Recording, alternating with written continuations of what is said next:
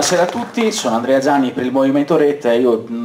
prima di arrivare all'ultima parte della, della, serata, che probabilmente sarà quella più interessante che riguarda le proposte, ma prima di arrivare a capire che tipo di proposte portare all'interno del Paese, bisogna cercare un po' di analizzare come funzionano le nostre istituzioni. Faccio mie le parole che ha pronunciato Mirko in apertura. Possiamo avere le leggi migliori del mondo, le istituzioni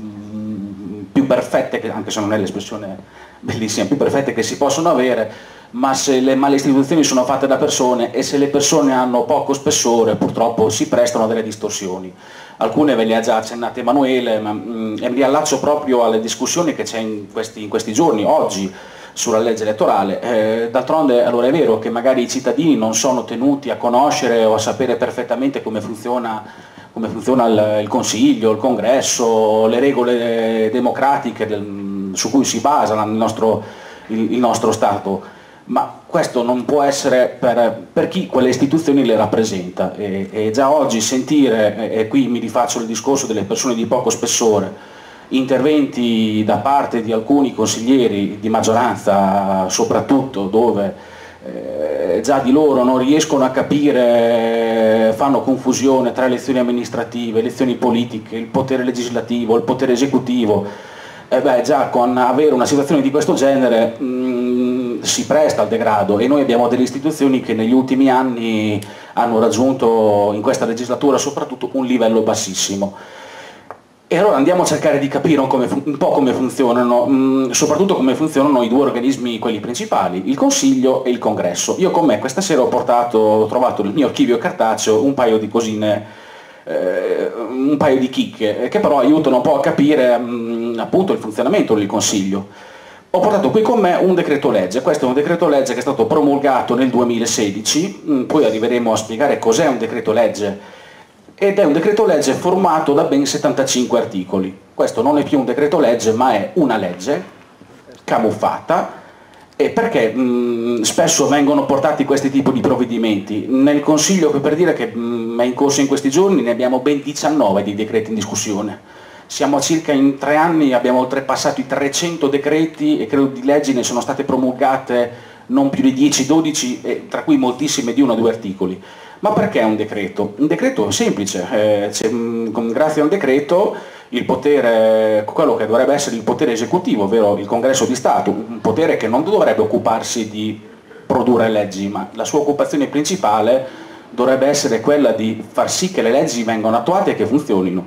Eh, bene, il decreto serve unicamente per una cosa, per bypassare qualsiasi tipo di confronto all'interno del Consiglio Grande Generale eh, e bisogna capire qual è la differenza tra una legge e un decreto legge. Una legge ha mediamente tre passaggi, viene portata in prima lettura in Consiglio Grande Generale dove c'è già un dibattito, poi avviene un secondo passaggio all'interno delle commissioni parlamentari, che è praticamente un consiglio molto ristretto, a circa oggi sono, le commissioni sono formate da 17 consiglieri, e in queste commissioni le leggi vengono discusse, vengono portati emendamenti, migliorie, abrogazioni di legge e, via dicendo. Dopodiché una volta che esce il testo pressoché definitivo della commissione passa in consiglio per una seconda lettura ed è la lettura che ne sancisce la messa, la messa in opera. Mm, bene, questo è un procedimento che mm, mediamente non, non, dovrebbe richiedere più di due o tre mesi per essere, per essere attuato, quindi anche perché avendo una struttura abbastanza piccola e snella in teoria dovremmo essere molto agevolati da questo punto di vista. Bene, il decreto legge consente di bypassare tutte queste, tutte queste procedure. Quindi cosa succede? Succede che si ha un, un ufficio di presidenza dove viene discusso l'ordine del giorno, vengono messi i decreti, l'ufficio di presidenza solitamente si svolge 5 giorni prima dell'inizio del Consiglio, il che significa che per studiarsi un decreto come questo che ho in mano da 75 articoli e produrre emendamenti, migliori eccetera,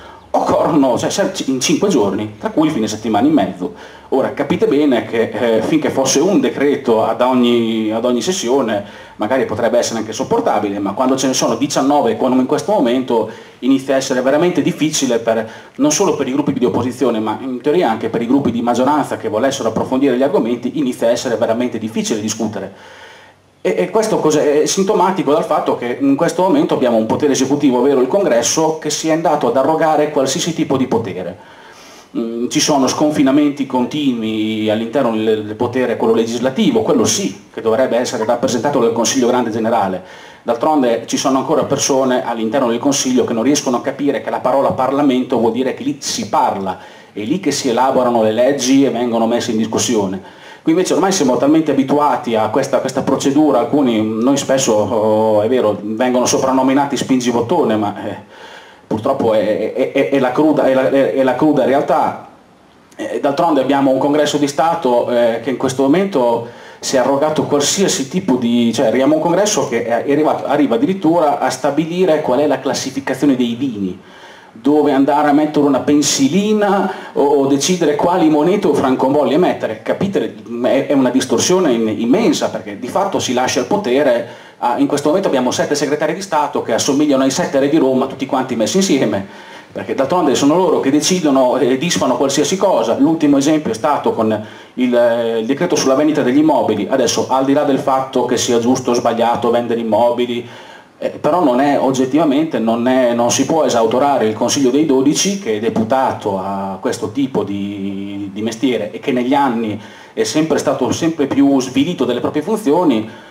hanno, si è bypassato completamente anche questo organismo eh, tramite anche lì il solito decreto, decreto che ovviamente non vede tra l'altro il subito esecutivo, quindi gli effetti dei decreti sono, nel momento in cui vengono promulgati sono, sono immediatamente, immediatamente, attuativi, ciò si presta delle distorsioni perché eh, mettiamo il caso che il decreto X eh, sia promulgato il lunedì, 32, il lunedì 22 luglio, Mm, il decreto ha tempo tre mesi per essere ratificato ma già i suoi effetti sono in vigore, se il decreto non viene ratificato ha prodotto degli effetti che poi non si riescono neanche, neanche a classificare perché il decreto ha decreto decaduto, eh, come dicono a Napoli, chi ha avuto ha avuto, chi ha dato ha dato. Capite che anche qui no, ma, mm, si diceva nei giorni scorsi quello sulle istituzioni sembra un argomento facile ma in realtà non lo è, è forse l'argomento più spinoso che si possa affrontare perché non, mh, mm, qualsiasi tipo di riforma o di, o di, modifica non può essere semplicemente come eh, alcune forze politiche intendono, faccio un programma di governo e quello, vincolo le elezioni, lo approvo. No, mm, non è così sulla, sull'aspetto istituzionale perché è una macchina talmente complessa che nel momento in cui si tocca un, un qualsiasi tipo di meccanismo inevitabilmente si va ad agire anche su altri tipi di meccanismi